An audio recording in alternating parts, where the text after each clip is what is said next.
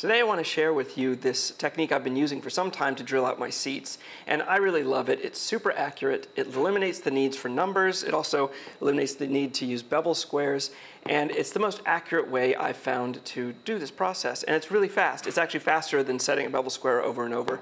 So I love it because frankly drilling holes is not my passion. My passion is for shaping the wood and this gets me there faster and then I know the job is done right. So here's this fixture that I made, and it's pretty simple, and I'll tell you more about that in a minute. But first, let me just show you how it works. So I start, like most chair makers I know, with what we call sight lines.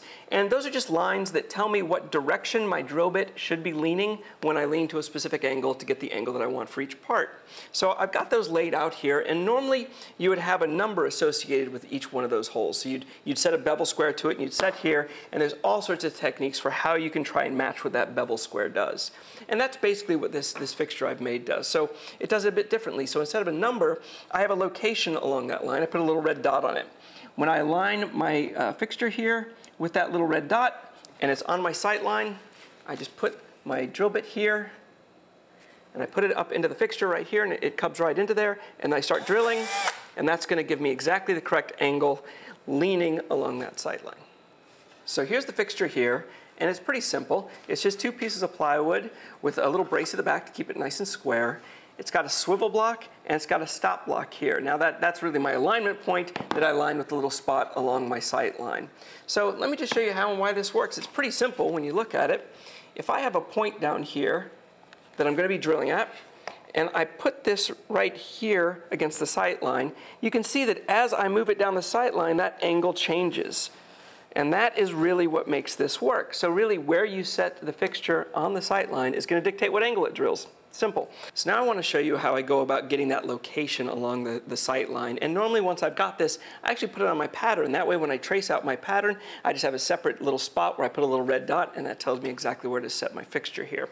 But this is how it works. I, I have a full scale here and this is available on my website. It's under the drilling jig plan. So you can just go to that page and you can download this PDF for free.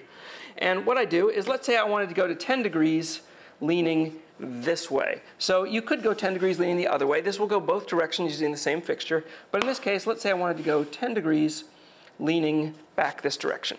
So what I do then is I just put a little red dot on here.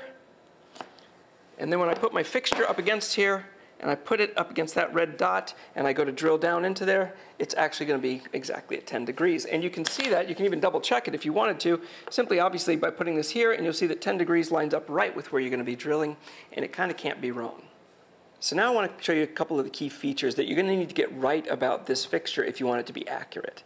So if you're using the scale that you can download from my website, one of the key things to note about this scale is that if you're extending all the lines up into space, they would meet at 8.5 inches up.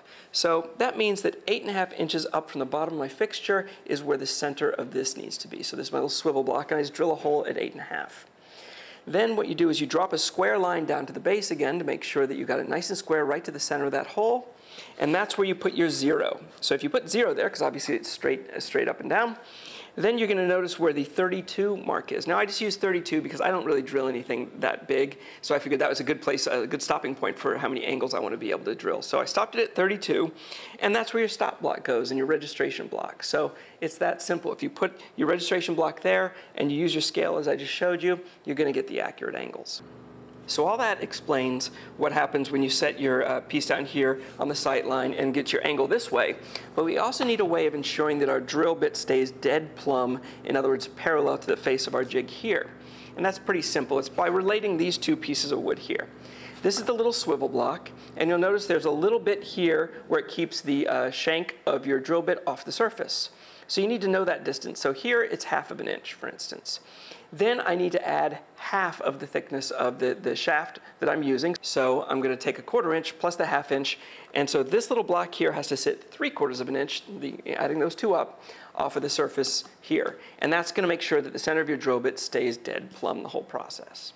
If you go to the store on my website, you're going to find plans for this. It's all free for the PDF on both the fixture and on the scale. Please feel free to download it and build it and let me know what you think.